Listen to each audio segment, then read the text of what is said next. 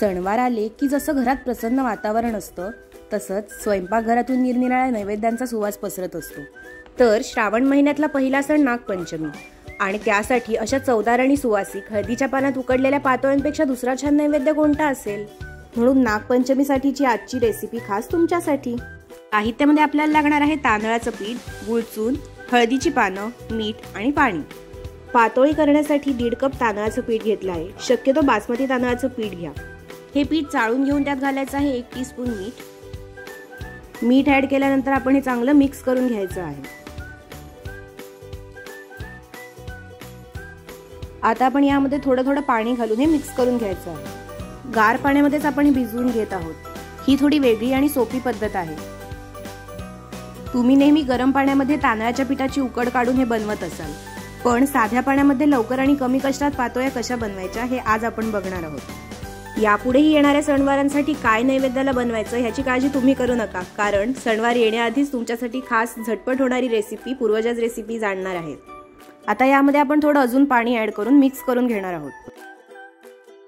साधारणपणे दीड कप पिठासाठी आपल्याला दोन कप पाणी लागलं आहे. या कन्सिस्टन्सीमध्ये पीठ भिजवून घ्यायचं आहे. आता हळदीच्या पानाला या पिठाचं मस्त असं कवरिंग कसं करायचं ते बघूया.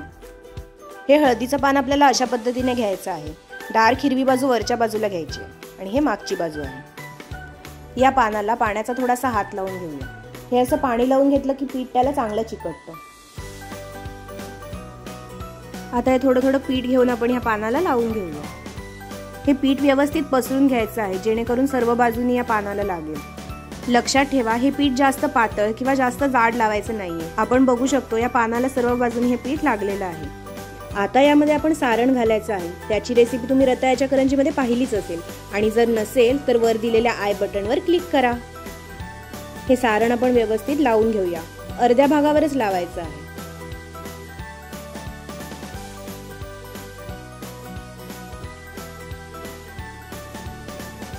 हे आपलं सारण एका बाजूने लावून झालेलं आहे. आता आपण हे पान फोल्ड करूया.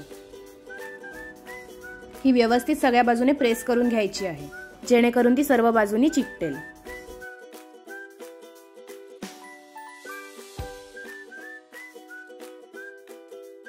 ही अशी सर्व बाजूने चिकटवून झाली की आपण जे जास्तीचं पीठ आहे बाजूने ते काढून टाकणार आहोत. अशाच पद्धतीने बाकीच्या पातोळ्या आपण तयार करूया. बघताय ना किती मस्त दिसत आहेत मोदक पात्रामध्ये पाणी उकळायला ठेवलं आहे. त्यामध्ये आता आपण या पातोळ्या शिजण्यासाठी ठेवूया.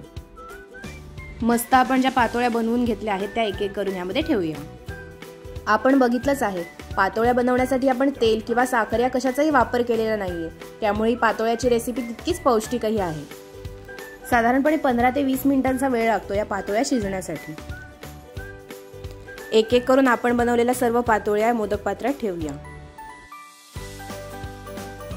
ही पातोळ्यांची रेसिपी गणेश चतुर्थीच्या वेळी गणपतीला नैवेद्य दाखवण्यासाठी बनवली जाते.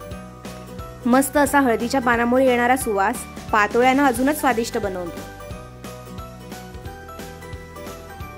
आता आपल्या सगळ्या पातोळ्या यामध्ये ठेवून झालेल्या आहेत.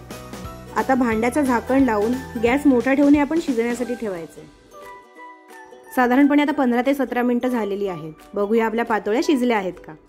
ज्या अर्थी पानांचा रंग बदलला आहे त्या अर्थी या पातोळ्या शिजलेल्या आहेत. आणि वा हळदीच्या पानांचा मस्त घमघमाट सुटलेला आहे.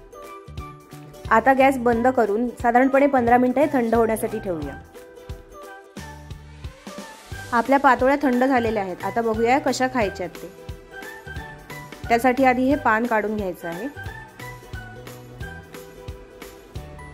आणि ह्या बघा आपल्या मस्त अशा पातोळ्या तयार झालेल्या आहेत.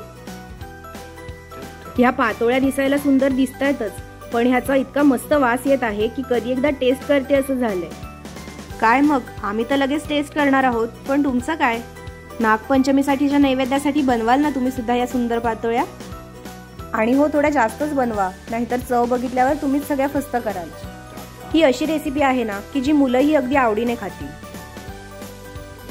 म्हणूनच या सहज सोप्या पद्धतीने बनणाऱ्या पण तितक्याच स्वादिष्ट असणाऱ्या पातोळ्या तुम्हीही करून बघा. तुम्ही चॅनलला अजूनही सबस्क्राईब केलं नसेल तर पटकन सबस्क्राईब करा आणि बेल आयकनवर क्लिक करा. व्हिडिओ आवडला असेल तर लाईक करा आणि शेअर करायला विसरू नका. आणि रेसिपी कशी वाटली ते कमेंटमध्ये नक्की कळवा.